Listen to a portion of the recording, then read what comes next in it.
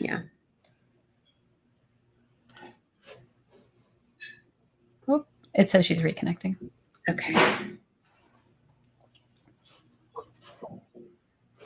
Hi, everyone. I just want to make sure that you can see me and hear the that you can see it, see the video and hear me. Um, if you can, go ahead and let me know in the chat box so we know that we're broadcasting. Okay. Ah, perfect. Looks good. Awesome. Thanks, everybody. And um, as we're waiting for our second presenter to connect here with us, uh, where's everybody coming from today? Where are you connecting from? We're curious. And as new folks are joining us, let us know where you are. All right, so we have some folks in Canada, Nebraska, Maine, Pennsylvania, Iowa, Georgia, State, Florida, Boston, Texas. Folks are coming from all over. That's terrific. That is awesome.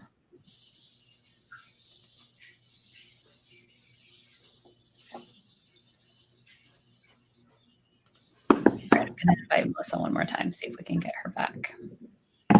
We had both of our presenters and then one of them disappeared. it's like magic. yes.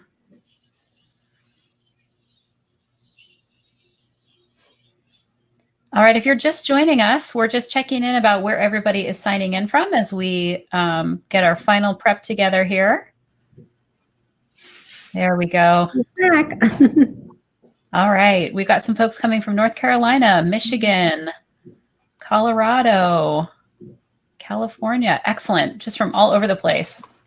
Well, I want to thank you all so much for joining us today. I am so excited um, to talk with you a little bit about designing a motivational syllabus with our guests, Melissa Thomas and Christine Harrington. I am Katie Linder, also a Stylus author, and it is my pleasure to host this series and get to chat um, directly with our Stylus authors about the topics of their books. So if you have come to one of these before, you might know how this goes.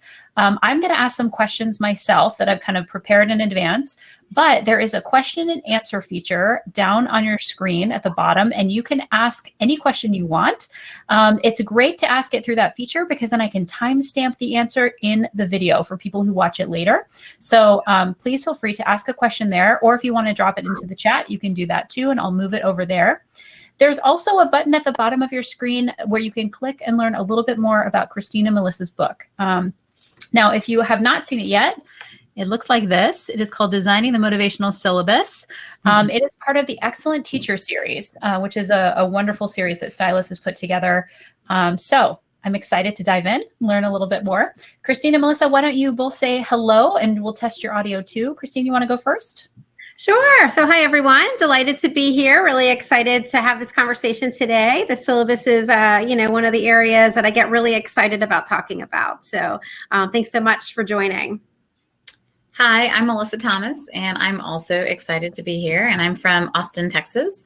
Um, and so, and I can't wait to share a little bit about the book and um, what Motivate is to write it, um, but also kind of how you can use it in, in your, you know, how we can use the syllabus more effectively. So.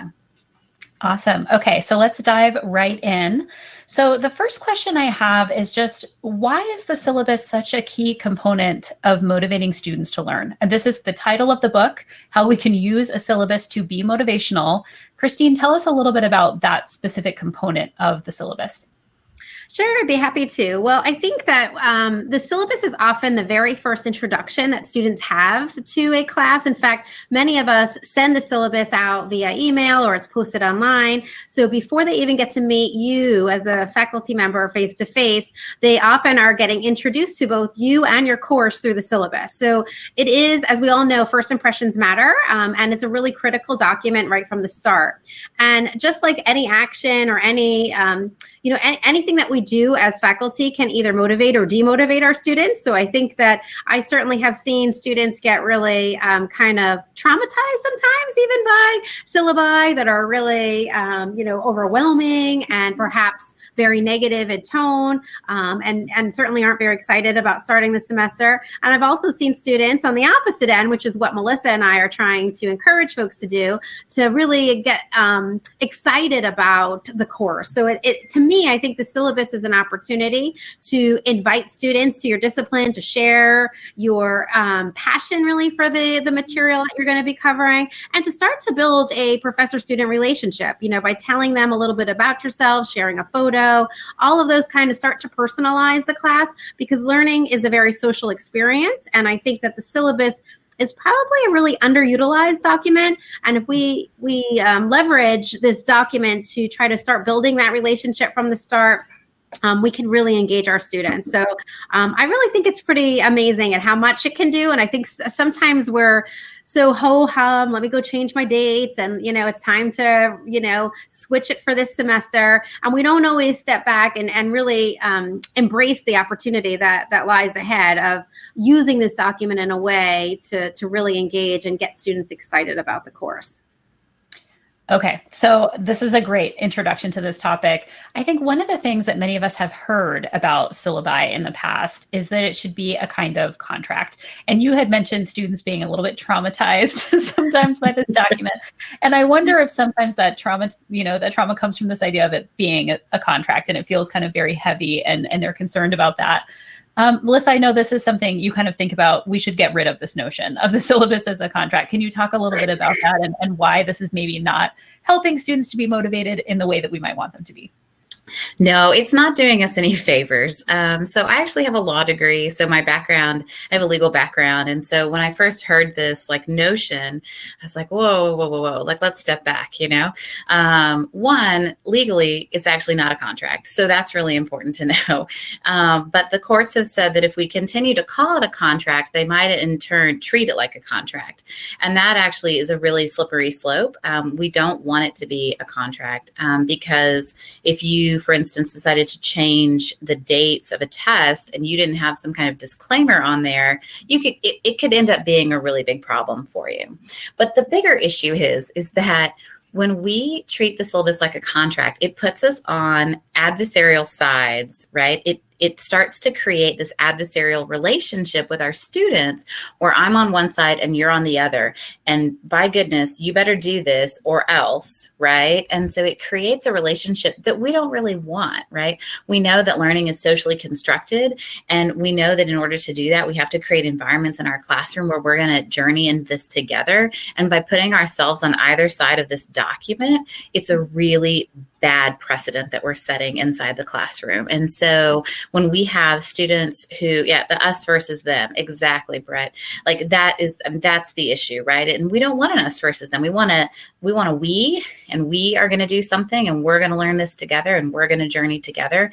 So I think that the contract concept it's flawed it's incorrect, but it's also just not helping us and it's not setting up the kinds of relationships that we want to build. And I've seen professors go so far as having students sign it like a contract. And I mean, that's, we, we don't need to do that. That's not the kind of environment that is going to help students be motivated to learn and want them to do well in our courses.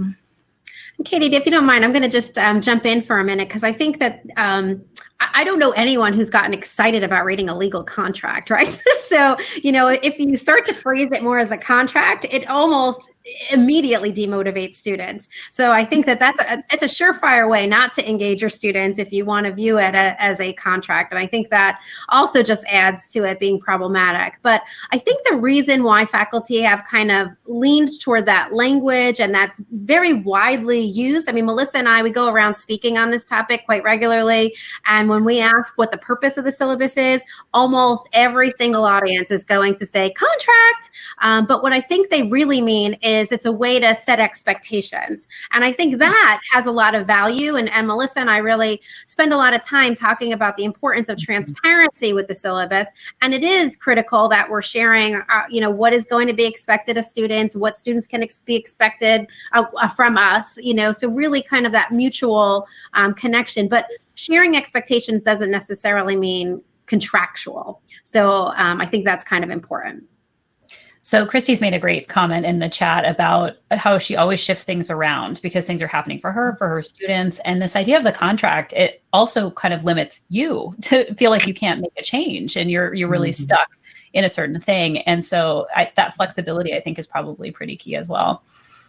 And, and I would guess that al- almost always when we make those changes, they're in the favor of students. You know, usually it's extending a deadline. Like we would never suggest moving deadlines up, you know, or anything that would be opposite. But giving students more flexibility, um, you know, kind of readjusting things and saying, you know what, I don't think you're quite prepared yet for this um, big project. I want to do a little bit of more groundwork in class to make sure you're going to be successful on it. I think we would all agree that, you know, usually those changes are very much student centered. Okay, so we are already getting some questions in from the audience, which is excellent. We also had some emails in advance. We're going to turn to those in just a second. If you have questions and you're watching, please feel free to use the Q&A feature. You can also vote up questions that you think are really interesting. So I want to ask a question first, though, to kind of get into the nitty gritty of this. I think a lot of people are really curious about how long a syllabus should be. So, what do we know about length? Because this is one of those things that you just kind of keep adding things. Our institutions want us to add things. Like mm-hmm. it just becomes kind of a laundry list and we throw all this stuff into the syllabus. So, how long should a syllabus be? So, this is a question that I um, really wanted to know the answer to. So, um, you know, because Katie, what you just described was starting to be very much what my syllabus was looking like. It was getting longer and longer and longer. And, and all of the information that I was adding was intended to be helpful to students, you know, providing more clarity on assignments or policies or whatever it might be. Um, but at the same time, it becomes more lengthy. And I think the worry is, is that if, if it becomes too long, will students get overwhelmed? Will they even read it? Um, is it useful anymore? So I dove into the literature and I, and I there are not a ton of studies in this space, but there are a few. Um, and the few studies that do exist, um, there were there was one, for instance, that looked at a two-page versus a six-page syllabus, and they wanted students to kind of share their perception of the course and which one was perceived to be um, better. So it was kind of an empirical study, you know, where students were arbitrarily looking at syllabi. They weren't connected to the um, specific courses they were taking, but they were just reviewing the syllabi and providing um, information about what they thought about the professor and the course. And and in every instance, the six page syllabus um, won, you know, versus the two page in terms of having more positive perceptions for the faculty member and also the course. So that kind of lended itself to the idea that providing students with more detail was something that they wanted, you know, and, and adding that really had value to them. And they actually perceived the professor to be more caring and motivated and all things um, like that because they did that. Um, now, for me personally, my syllabus was, I'm like six pages, that's short. You know, mine was starting to get much longer than that. So I wasn't sure whether or not, um, you know, at what point is the tipping point where you've really kind of lost your mind and you're not helping students anymore. So because there was no study that really went beyond the six page, I conducted my own study with a colleague of mine, uh, Crystal Quillen at Middlesex County College. So this was a study conducted with community college students. And we compared a six, a nine, and a 15 page syllabus. And if mm-hmm. anyone wants to, to check out the actual syllabi that were used in this um, particular study, they can visit um, my website, which is scholarlyteaching.org. Um, all three sample syllabi are there. So we did an experimental study where students were randomly assigned to, you know, different conditions of the small, medium, and long syllabi and they had to answer some questions very similar you know what do you think about the course? What do you think about the professor? Things of that nature. And the 9 and the 15 page syllabus were viewed more positively than the six page syllabus by students. So again, they thought the professor was more caring and more motivated. Um, we then asked students in a focus group, Katie, and this was kind of interesting because we then asked them, would you prefer a syllabus that puts everything in one place where you have all of your rubrics and assignment details? So that's really what the 15 page syllabus did that the nine page one didn't, was it had all those very specific things? Or would you rather get the front end now and get the syllabus, I mean, the assignment details later on when it's uh, more timely and relevant to when you need it. 66% of the students said they prefer it all together. So, what we heard from students was that every professor sets things up differently and they're constantly fishing like is there a rubric or is there not? And am i looking where am i looking for this rubric? Is it in the syllabus? Is it in the learning management system somewhere? So they were getting very frustrated by everyone putting it in different places.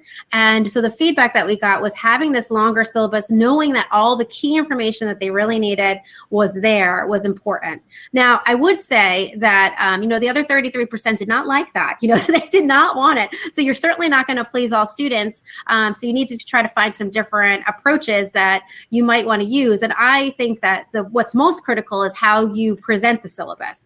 I tell my students, I have no desire for you to read my entire syllabus today. It's a 15 page document. Um, it is a resource, just like I don't expect you to read the entire textbook today either. You know, by the end of the course, you're going to look at both of all of these and the components. But what we do in the beginning of the semester are some activities that really get them um, aware of what kind of information is in the syllabus. And then throughout the term, we'll go back and we'll revisit it. So when that paper is approaching, I'll be like, look at page 10 to 12. There's the specifics on this particular assignment, and let's talk about that.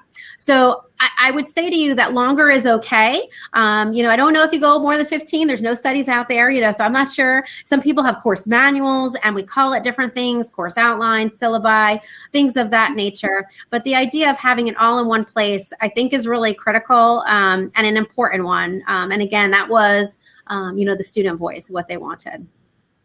Okay, so I'm going to turn to some of the questions from our audience because um, they are coming in and they're great. So, one is a clarification question. I think based on what we were saying a little bit earlier about flexibility, um, someone said our syllabus is an official document approved by the college and must remain intact. So, when you're talking about a syllabus, what are you talking about? And I think that might be referencing when we were saying if you make any changes or, or those kinds of things.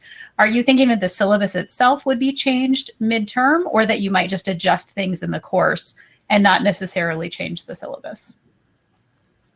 Yeah, I think that you know I've I've definitely um, I've had syllabi that have to be approved and then are posted, um, and so generally for me the things that might change would be like the course schedule. So when certain chapters are going to be covered, maybe you know it took us too long to get through a certain chapter. So for me the course schedule might be shifted a little bit, or when an assignment is due, it might be shifted. Um, but the the core meat of the the learning objectives and the things that we're going to accomplish in the course, those aren't going to change um, in the middle of the course for me at least i don't christine i don't think for you either right yeah, I mean, I think mostly when we say things are changing, it's usually the sequencing of um, activities, you know, the, the flow.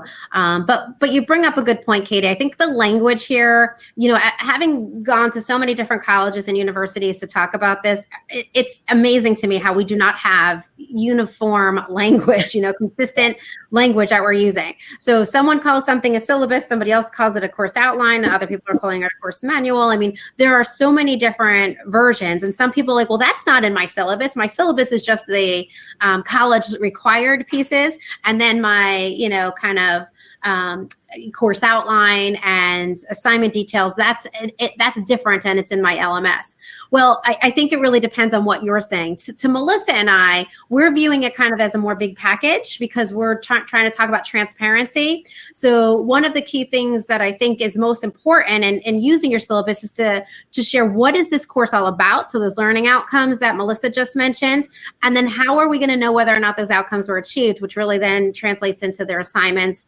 and activities and then how are we going to help you get to that? And that's the teaching activities and what they can expect. So is there going to be group activities? Is there going to be lecture, combination, um, online activities inside, outside of class, things of that nature. So Melissa and I like to view it as a as a larger document, but we recognize that some of you have different uh, terms at your institution that you may need to follow. Okay, and I, we're also seeing some notes in the chat here too about how standardization of syllabi can be more common in certain areas where you have accreditation or professional schools or things like that. So there's definitely going to be shifts um, also based on discipline. Um, okay. If you don't mind, I just want to jump in real quick too about the standardization because I, I have met a lot of very frustrated faculty feeling kind of, um, you know, very confined by the standardization and feeling like they have no control over these documents. What I what I what I do in this situation is I do two things. First of all, I try to empower them to take the research and the information that Melissa and I have outlined in the book to back to their college so that they could at least make the standardized version better. You know, like to try to implement implement what we're going to be talking out, uh, about throughout today's webinar into the standardized um, version. And second, um, even if you can't do that, sometimes you need to include that, but maybe you can include a cover page that's much more inviting. Um, you know, so you might be able to do that. And you may even be able to say, you know, as Melissa and I would get to the policy conversation a little bit later, probably. Um, you know, here are the institutional policies. So they can kind of separate the you and the professor from the, you know, more um, you know institutional language. And i think one of the things that i always talk about is inviting you to challenge the policies. So asking why, why we have certain policies, why couldn't it look like this? What if we did something like this? And I've had good success at several institutions at being part of that change process and um, getting certain things standardized that need to be standardized, like accommodations language or having the learning center mentioned in all of the syllabi so that students understand the supports that are available to them. Um, so I think that you know, the being that annoying kid that always asks why, why, why, why, why, why, I think has paid off for me um, in terms of I'm willing to take that and I'm willing to, you know, um, have discussions about that on a grander scale. And I think that, you know, I would encourage people to do that as well, especially after they've taken a look at the book. They'll have kind of a, a better sense of, you know, where we think the fight might be worth it or not. Okay, so another great question that came in. Um, you mentioned activities to help students get familiar with the syllabus when introducing it as a research on resource on the first day. Can you give an example of one of these kinds of activities? Um, should, do you want me to start, Melissa? And then if you want to yeah, add another Yeah. Okay. So I, I love my favorite activity with the syllabus is the Jigsaw Classroom activity. So um, what I do, if you're not familiar with Jigsaw Classroom, I'll give you the very brief version of it. But if you Google it, you'll find plenty of um, video explanations and all. It's basically putting um, students in groups. So I might do that in groups of maybe five, um, and that group's called a home base group. Then those five are dividing up the different pages of the syllabus. It might be the first three, you know, then page three to six, page seven to nine, etc. So each person in the group would get a different paid, you know, section of the syllabus, page number to review. Then what you do is all of the page one to three folks, they all, so you leave your home base group and you go over to the one to three group now. All of the folks that need to do that, what they're now doing is they're looking at page one to three and they need to determine what are the key elements that are in these pages that I want to bring back to my home base group because it's going to be my job to orient them to what kind of content is in these pages so that they know.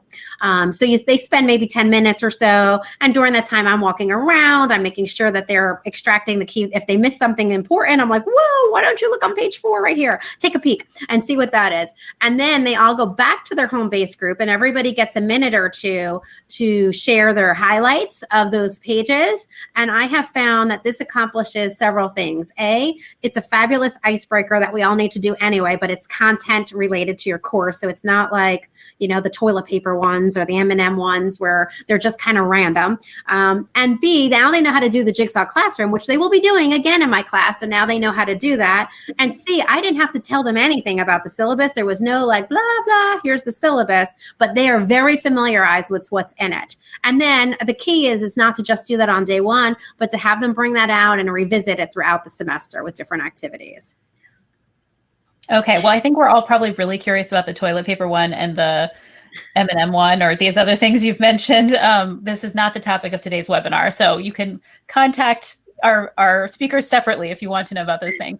Um, but um, Melissa, do you want to add in your favorite activity for this? Yeah. So one of the things I do is um, because I teach freshmen, first semester freshmen, so I will have them and we do a little icebreaker, but it's not toilet paper or M&Ms.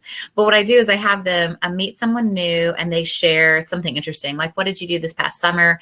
And then they answer a question about the syllabus, which kind of requires them to like dive in. So they kind of take their syllabus with them and they're moving around the room and they dive in. And then I ask for, you know, okay, give them a minute to figure it out, and then I'll ask for a participant, and then we'll switch again, and they'll introduce themselves to someone new and dive in and find another piece. And so that's helpful because they're moving, they're getting interactive. It's not this boring syllabus day that I've heard about um, on campus, and where they're given the syllabus and then they go home. Um, but I'm really expecting them to engage with the content. And then the other thing I added this last year was with um, the learning objectives. I actually made a chart where they have to then um, fill out what activities and assessments tie back to the learning objectives. Because I think that that's a piece of the syllabus that they forget about and they're like, they don't even know why that's important to them. And so um, by having them do that activity, it really helps them understand, like, oh, this is what I'm supposed to get out of this course, and this is how I'm going to learn it and this is how i'm going to show that i've learned it. And so i think that's really helpful. Um, but again like i wouldn't do that on day one. Like i would probably have them bring their syllabi back out like the next week and we would talk about that. So i know someone had emailed a question about like using it throughout the semester and really like like christine said pulling that syllabus through so that we're constantly referring to this document. It's not just like a one and done. Mm-hmm. Okay, so questions keep popping in. Um, so we have someone asking, we have several people kind of talking about required information for the syllabus that makes it kind of lengthy. Um, some people are kind of back channeling about this. Um, so someone says if it's required information that's uniform for all courses, does it have to be on the syllabus or can it be moved to one online location and linked from the syllabus? Uh, they've been kind of working toward that. Someone else mentioned that there is a general college syllabus they use at their school that has a mm-hmm. lot of policies. And so then the course syllabus can be very focused on the course content. What are some of the things that you've seen that you think might be useful in terms of thinking about um, all of the required information that needs to be in there?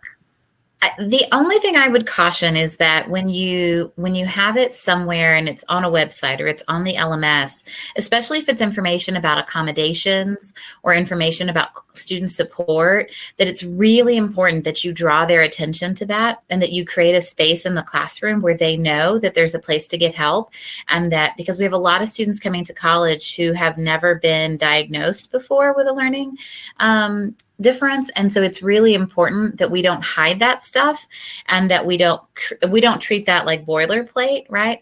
And so i do think that we need to create a space and a place for that. Um, it might not be inside your document but it could be a, a reference back um, but then in the classroom itself i think it's really important to do that so that would be my three cents on it. I don't know, Christine, what do you? And I would say that there are definitely areas where we don't need to repeat what already exists somewhere else. So I think one area that sometimes gets very cumbersome and lengthy in a syllabus is the code of conduct type policies. You know, don't do this, you're not allowed to do that. And I think there's no reason to spell all that out when it's been spelled out elsewhere. So um, I just have a, um, you know, general statement and it's positively phrased, you know, so I say all students are expected to engage in behaviors that are going to foster learning, you know, a learning focused environment.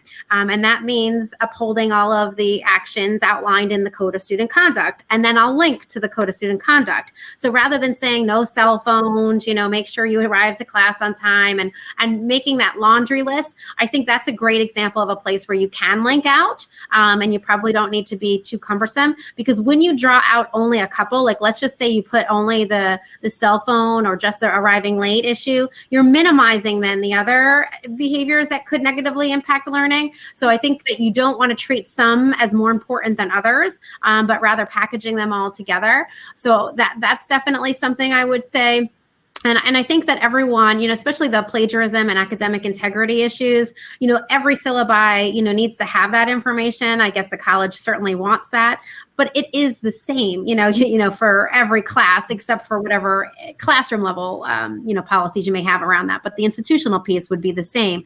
So to me, I don't think we need to spend an enormous amount of time on that, but rather I like to introduce that section by talking about why academic integrity matters and why it's so important. And here's how you engage in academically honest action. So kind of supporting them. And I really like to talk about academic integrity rather than plagiarism and cheating because when you start to put those kinds of policies in your syllabus, you are communicating to students that I, I don't believe in you and I'm going to have to set the record straight right now. I think you're going to cheat. I think you're going to plagiarize. I think you're going to come late. I think you're going to use your cell phone. I mean, that's the interpretation. And that does not do wonders for the professor student relationship um, from the start. So instead saying, I know we're all going to work together to promote a learning focused environment, I think is a really better way to set the stage and to emphasize why that matters. So I may even throw in a little bit of data or research into my syllabus about multitasking negatively impacts not just the student who's doing it, but the students who are sitting around that student. And it's really important that I, as the, the professor, you know, facilitate a learning focused environment. So I'm going to ask that everyone engage in positive, you know, um, actions in the classroom. Yeah, and I address that by talking a lot about how my classroom isn't, you're not going to take copious amounts of notes in my class, but instead you're going to be engaged in active learning, which is going to involve discussion and movement. And, um, and so you don't really need a laptop. I've had issues with laptops before, and I'm not saying they can't have a laptop, but they just don't need it. And so, and I tell them why. And and pretty quickly within the first week, they under they're like, oh yeah, that would be silly. You know, like I'm not sitting here stenographing, you know, what I'm learning. Mm-hmm. I'm actually doing it and learning it. So um, so yeah, I would agree. Okay, so we have kind of a related question here. Someone says, What are the best practices for incorporating a statement of diversity and inclusion into a syllabus? We're looking at suggesting some updates at our college wide syllabus template. It's going through an academic standards committee, and they think this is likely to come up. So, um, this might fall under more of the student support side it, of the policies and, and kind of helping students to feel included, to have that learning environment. But is this something you've encountered as you've talked with other people about their syllabus? Uh, required statements? So the research on inclusion has um, some of the stuff that's in the book. I think it's Collins, but I don't quote me on that. Um, a lot of what um, he was focused on was making the um, the unknown known, right? So making our documents very transparent and helping students understand what those policies are and why we have those policies and really unpacking the academia, right? So we've got all these things that we think students know.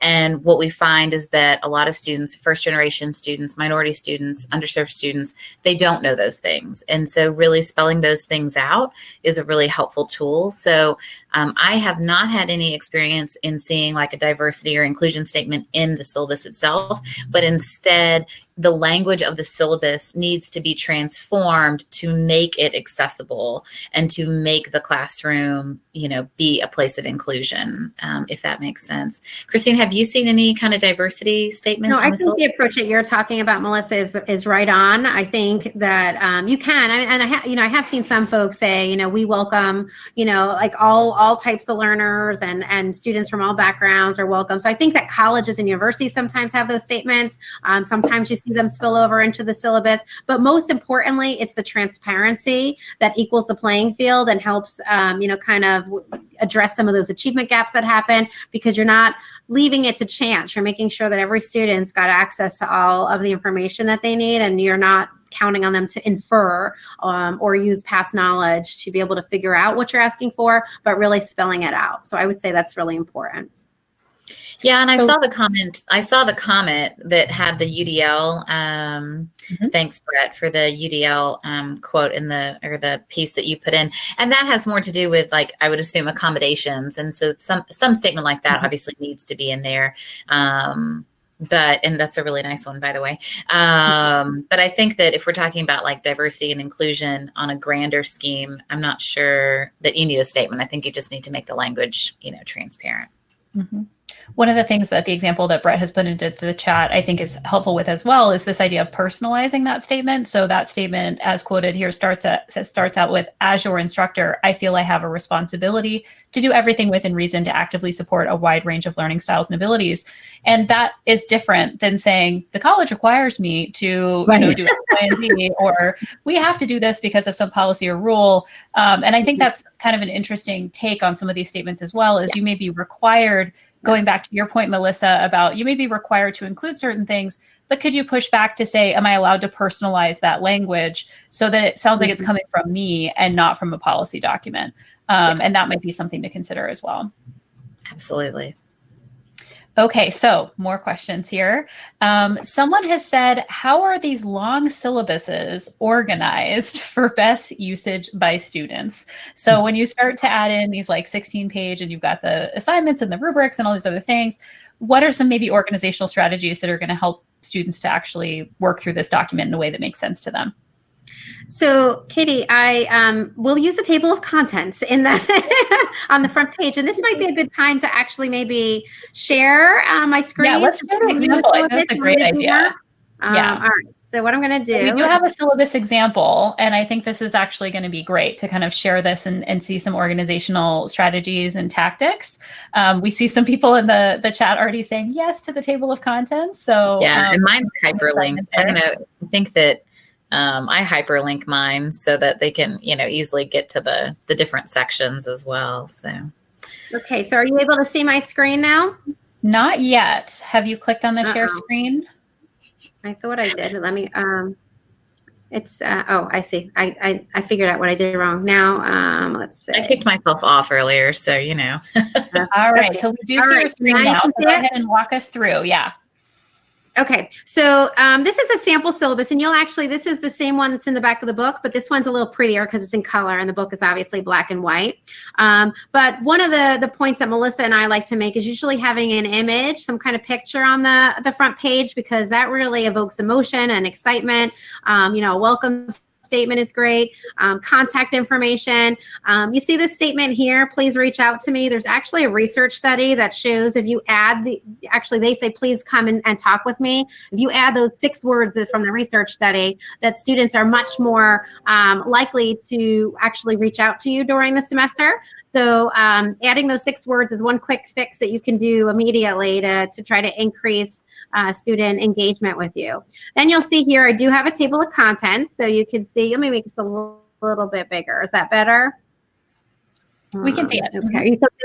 You can see it good? Okay, yeah. great. So, um, you know, so then I do have the table of contents and that just gives everybody a, a chance to you know see what what's where and you'll see these are more you know the at the end the reading assignment questions i mean that's really an assignment you'll see that in a moment so uh, uh you know the the main part of the syllabus ends around page 10 or so and the rest is really the rubrics and the specifics. So although this looks like a really long syllabus i think you'll see it's organized hopefully you'll agree in a great way. So now i have this big giant heading what is this course all about? And we have obviously this comes from the catalog. Um, here's the learning outcomes. Melissa Melissa and I like to really use that personalized language that you just mentioned a minute ago. Um, and the uh, you know the idea here is is using you instead of students will be able to so that they really see this as a document that's between um, and then kind of talking about why those skills are important. So this was for an educational psychology class, and I'm connecting it to the greater, um, you know, kind of process of being a, a teacher eventually. Um, here is just kind of an overview of the topics that they would see. And you'll see these are all chunked. Um, now, this is where I start to share a little bit about myself and why I'm so excited about the course. I also add a photo. Um, and this is particularly helpful in online classes, I think, so they can kind of get to see you. Um, now down here, you know, I have kind of what do you expect will happen during class? So you can see uh, I'm telling them that you ever class, you're going to be engaged and involved. Um, putting a picture of the textbook can help make sure that they bought the right one as you organize the material that um, Melissa and I are really big fans of making sure we have the kinds of support um, that students might need right here. And this is where we're linking. So we're not duplicating everything that the counselors or the librarians or the tutors are doing, but making them aware that these resources are available and making it easier for them to get to their specific pages rather than trying to just kind of use the, the website uh, search feature. And I do like, Christine, that you have both the phone number, the physical mm-hmm. location, mm-hmm. and the website so that students yeah. who want to engage have multiple ways of engaging and they can work with mm-hmm. whatever way is comfortable for them. Yep. And then we, um, you know, we really are big fans of giving students tips on how to study. In some of the research, and I know there was a chat question before, should you be modeling what you want? And you'll see we are modeling in cite, you know, in text citations using APA format. So absolutely, we believe you should model that in the syllabus. So you can see that outlined here. Um, this visual, um, you know, kind of image here just kind of outlines what students should be doing before, during, and after class. So we think that's kind of important. Um, here's an inclusion statement that was asked about, you know, where the college welcomes all students with disabilities. And if you need something, here's what you need to do to get there. Um, so that's um, information. Um, here you'll I'll just leave the um, academic integrity for a moment. You can see how I'm really focused more on the reason for all of this and helping them understand so they're not unintentionally plagiarizing or cheating. So kind of spelling some of that, that out for them. Uh, you know, late with late and missed exam policies, register information, all that kind of stuff. Now, here's where the course outline comes into play. So um, this is where we're giving them the learning objectives for each. Um, it could be a week or it could be a day, depending on how your class is set up. So they can see, and it's linked back to the, the larger learning outcomes for the class. So they see the connection between all of that. Because as Melissa said before, those dots aren't always connected without some of that explicit you know, support and helping them do that. I'm just going to scroll through this pretty quickly because this is all the course outline part.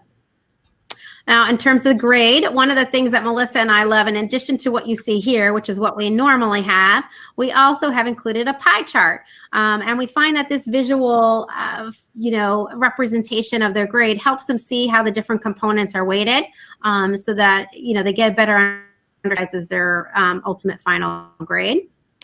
And if we keep scrolling around, now this is where you're going to see this is the details. So this is what some of you may be giving out separately, and you may not view this as part of the syllabus, but based on the research, we decided to include it. So they're getting all their rubrics and all the specific information. And then this part goes on and on. So uh, on page 12 of 24, but here's where they're getting all of the information that they need to successfully do all the assignments so I'm going to go ahead and uh, stop sharing so we can get back to our conversation. Hopefully that worked. Am I back on the screen? Yep, you're back. And I think that's a great answer to that question about organization, especially the table of contents. People seem to really love that. Um, okay, I'm going to dive into some other questions that we've had here. Uh, so someone says, uh, let's see. So this was one of the questions that was emailed in advance. One of the mm-hmm. challenges mm-hmm. I have is getting students to read the syllabus. I've encouraged faculty to add more detail. One of their arguments is that students don't read it. What are other formats aside from traditional text based that might be better to facilitate student engagement with the syllabus? So you've mentioned the LMS before. Some people are embedding the syllabus in the LMS, especially for people who are teaching online or blended. Um, can you talk a little bit about this idea of actually getting students to read it? We mentioned the activities to do. Are there other things that you think are also helpful for this? Christine, you want to talk about the narration so for the online classes, what I'll do is very much what I just did with you, but in a little bit more of a comprehensive way. So kind of walking them through the syllabus. I do a narrated screencast um, so that they get all of the information, um, that they hear me kind of talking about it because they don't have as much opportunity to dialogue as they do in a in-person class. Um, but in, in terms of getting students to read it, I would say go back to why do you want them to read it?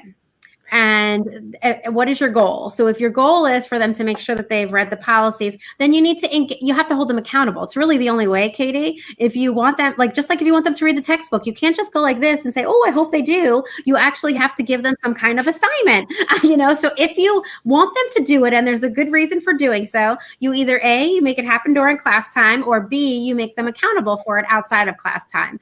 So I, am not a giant like there are lots of syllabus uh, quizzing ideas out out there. And I think that some of them are fabulous, but sometimes they're more of a gotcha kind of quiz. I want to make sure if you read every little nook and cranny. Well, is it really important for them to read every nook and cranny? Like, are you really kind of giving quiz questions on like minutia in your syllabus or are you helping them see the bigger picture? Just like the textbook. I mean they don't really need to memorize every word in the textbook but they need to be able to differentiate what are the big ideas from what are the supporting um, you know smaller ideas that kind of feed into that. So i think that when we say we want our students to read our syllabus i think we really mean we want them to use the syllabus as a resource um, and we want them to know what kind of material is in there. And and that's why the jigsaw classroom works well but you can also do collaborative collaborative quizzing. I really like that. Um, and you could do, of course, the, you know, the, the quizzing, and that works well in an online class as well. Um, and you could use, you know, uh, multiple times for them to get it, you know, find it. I know sometimes people will hide kind of a, a hidden, uh, you know, bonus point or something in the middle of the syllabus to get them excited and and engaged and looking at some of the finer details, right? Um, but at the end of the day, it, it, I don't know that they need to read the entire syllabus on day one. You know, like I, what parts are really important for you to read today? I'm going to make sure that you're I'm bringing your attention there, and you're going to get that information, whether it's online and I'm narrating that, or it's in person and we're um, discussing it in class. Okay, yeah. Amy shared a great idea too, where she uses a mm-hmm. syllabus quiz but has the students write the questions and then they mm-hmm. exchange them the mm-hmm. second day of class. So, really, the idea I think is to engage students in the syllabus in whatever way this this looks yeah. like for your classroom your discipline mm-hmm. but also i've heard both of you mention this idea of just referencing the syllabus multiple times throughout the term bringing it out mm-hmm. talking about it pointing to something in it and making sure that it is kind of a living document that they're not just mm-hmm. not referencing you know they're they're keeping it with them so that they can keep looking at it absolutely Okay, let's see. Um, so someone asked for those teaching face-to-face blended or flipped, i.e. still seeing students in person, how many people are still handing out print copies of the syllabus? Is this something that you're still seeing as a common thing? Okay.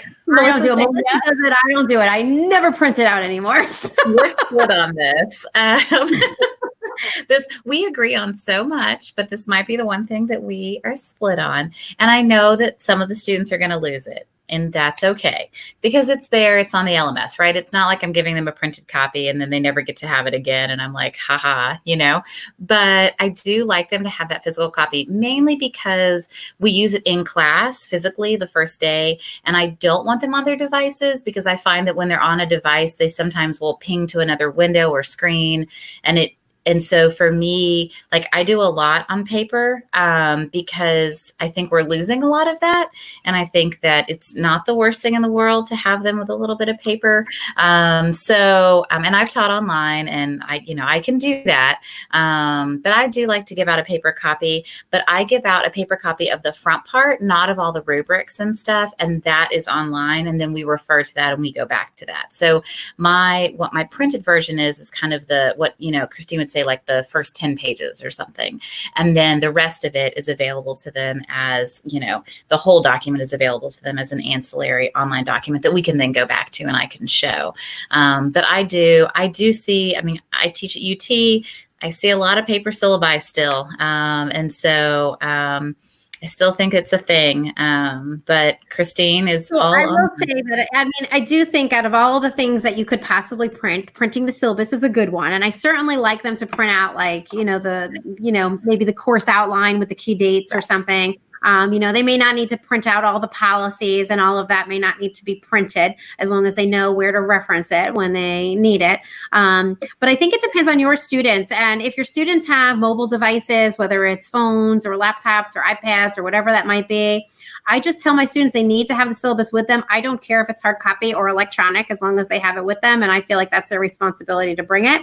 Um, and quite frankly, you know, with several classes and, and printing that very, very long syllabus, it's gigantic and very heavy and it's breaking my back. So, you know, like I think that they can be responsible for getting that, you know, it's, it's an important document. I share it and it is modified sometimes. So I think that's important to recognize. But the, you know, the truth is um, we did not come across any studies on this to, to really get a sense of how many are still printing and how many aren't. But part of having a longer syllabus means you don't have to worry about the printing costs if it's electronic, right? So it does it does get to be expensive and you lose something if you're printing the syllabus out like if you see the one that i just showed you and the one in the book the one that I just showed you is much more impactful than the one in the book. And to print out color copies is just not financially smart um, to do. So I wouldn't do that, but I think they're losing something by not having access to the color. So I think the electronic helps with that as well.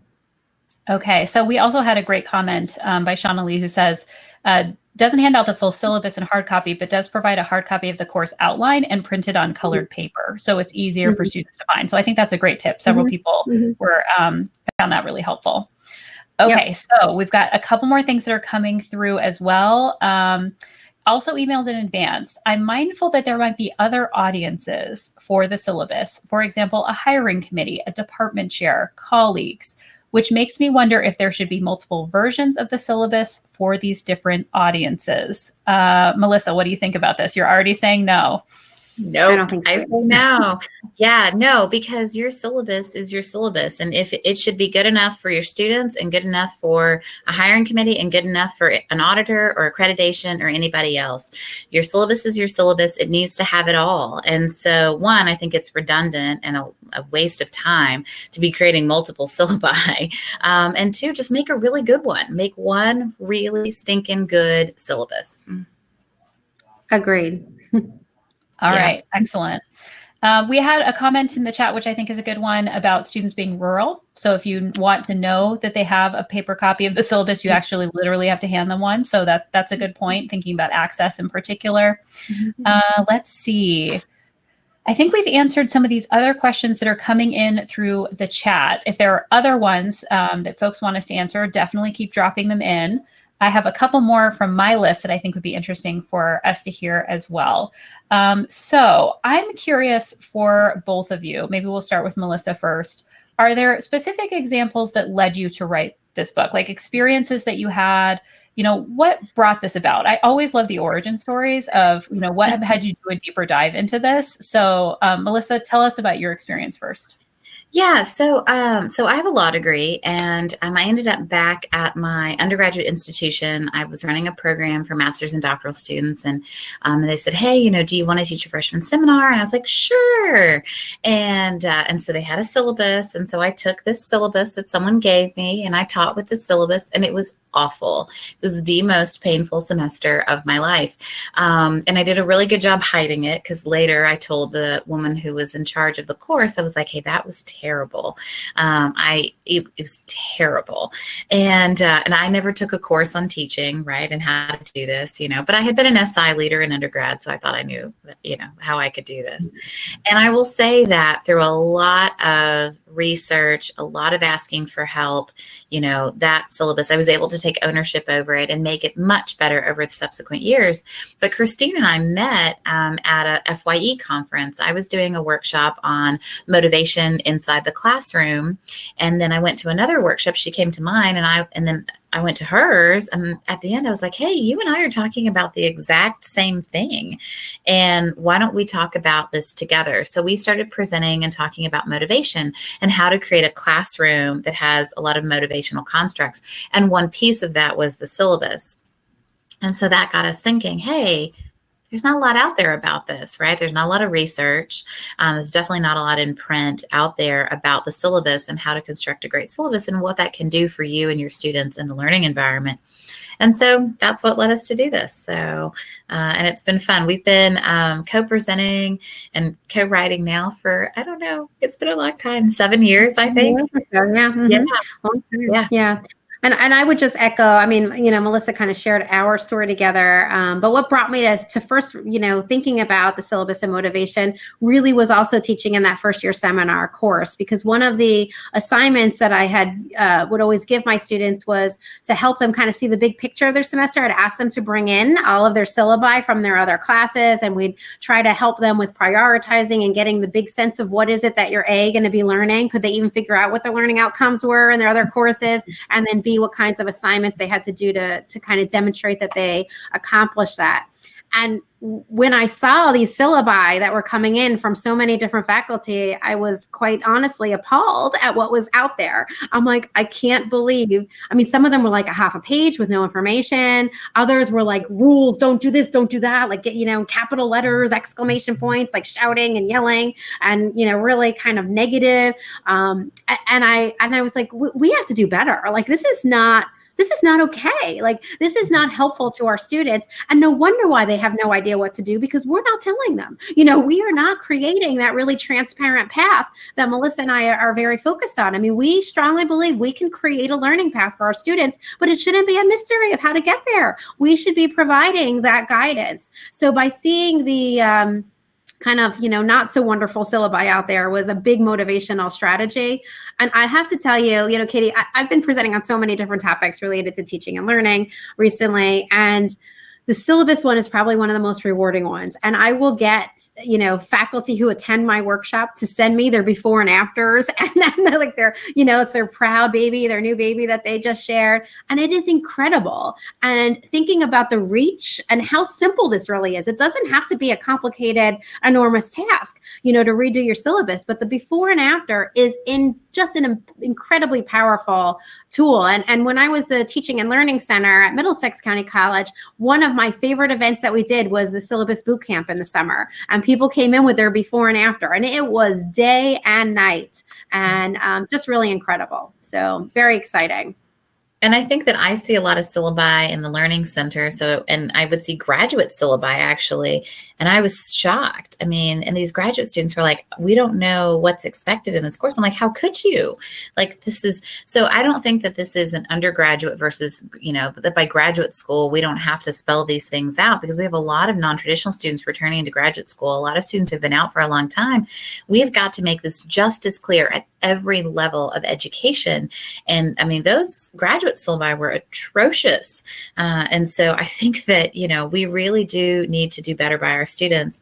And, um, and this, it's been really rewarding. It's neat to have faculty come and say, Hey, I made some improvements on my syllabus and this is what I did. And, or I want to make improvements. How can I do that? You know, and help them to, to do that. So, and, if you don't mind, Kate, I'm just going to jump in mm-hmm. one more time because I, I, I want to make sure that everyone understands that some of these syllabi that I was looking at that were not great were by phenomenal faculty members you know? So they were amazing and their syllabi did not accurately represent you know their amazingness you know like it didn't it didn't show or tell the story. And the yeah. syllabus should tell the story of what the course is all about and what this experience is going to be. And i think quite frankly it's because there's like next to end there's like no professional development and there are very minimal resources out there. So we felt like it was a gap that needed to be filled. And um, you know it, has been tremendous. I i did like a half day workshop at a, at a college and it was a mandatory event. So one of those back to school days and i had several faculty come come in saying, we walked into this day thinking, torture me now. I'm going to be talking about the syllabus for four hours. Like, how could that be? And, and like, this is going to be the most deadly professional development I've ever been to. And at the end, they're like, oh my God, I'm so inspired. And I didn't know that the syllabus could do that. You know, like that is like so incredible. So I'm, you know, I think that it's a, it's a very easy way if we just support faculty to help them do it better to increase the transparency and uh, reach all of our students. Okay, so we are in our last five minutes, and like a bunch more questions have flooded in. So I, I want to try to get through as many of these as possible. So if you can keep your answers somewhat brief, and we'll we'll try to get through as many as we can. So someone has said, curious about essential requirements in terms of accommodations language. Our Accessible Education Services Office is talking about this. Is there a baseline? Is this an institutional choice about what is included in a syllabus in terms of, uh, you know, accommodation language for students? Yes, the institution needs to set that at the institutional level, and you need your disability services office to be in on that, and probably legal as well. So, yeah, you have to, yeah, you have to set that at the institution level. Okay. Hopefully that's enough of an answer. Sorry for these brief ones at the very end. Um, but we are definitely going to speed through these as, be- as best we can. Um, someone said, Has anyone spent the first day co constructing a syllabus with their students? Can you talk at all about co construction of syllabi? so I'm going to take that one. Um, I think we have to be careful about that. And here's why. Um, I know we want to be inclusive of getting students engaged and involved, but let, let's face it, this is really challenging work. And you are the expert of your course. And it's going to take an, a lot of mental uh, power and a lot of time for you to carefully craft. And I don't think it's fair to ask students to jump in and try to do the same thing.